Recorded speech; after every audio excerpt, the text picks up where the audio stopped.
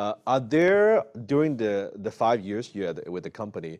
Are there moments where you, it's like, oh, this is a big challenge that we we're seeing, or this is like when we grow from this size to this size, like what are some of those like you know I call that you know holy smoke moments, right? Like oh my goodness, man, like we're growing, but this is a big problem. Like and how did you overcome those problems?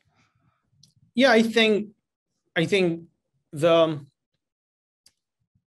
you know th- those moments happen all the time. I think it's it's it's like you know when when we talk to our product teams, I usually like to say that the the day you come to me and say there are no problems to solve, I kind of don't really need you anymore, yeah, right? Yes. Then we got a big problem.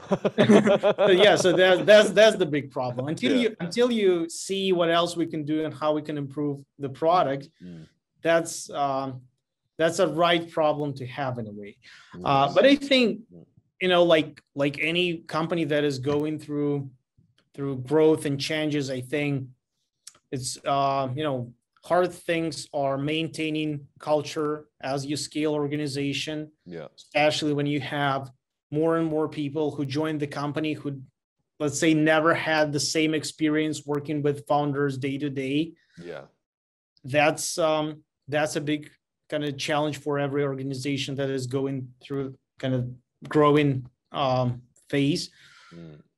and then also like changing structure and adopting it to kind of new scale. Hmm. Also, always. Um, what, I wouldn't say. What, what, yeah, yeah, but what, what do you guys do now with 950 people? I assume a lot of them working remote. Some may be in the office, but like, how do you like? It's one thing to have a team of 100. It's a whole other thing to have a team of almost a thousand.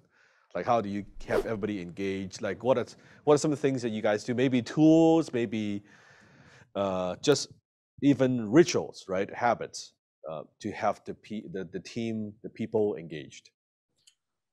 So yeah, we we from from the very beginning we had um, kind of culture where we encourage people to take a lot of responsibility and ownership, okay. and in return, uh, we would give them a lot of freedom to make their kind of own choices. Autonomy. So yeah, in a way, we have um, very decentralized organization okay. where where people can work autonomously. So for us, switching from in-office environment yeah. to, to remote, yeah. remote remote environment was not that hard. Okay.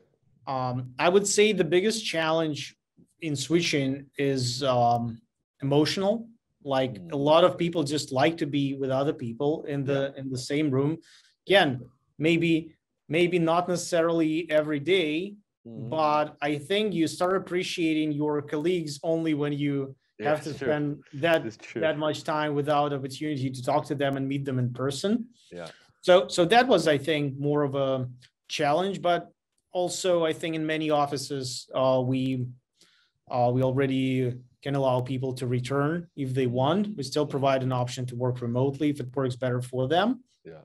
But I think it's um it's already you know much better. And as I said, we we were set up in the right way where people can work autonomously, um, and and they don't Beginning. require like ever like like daily supervision in a way. Yes, yes.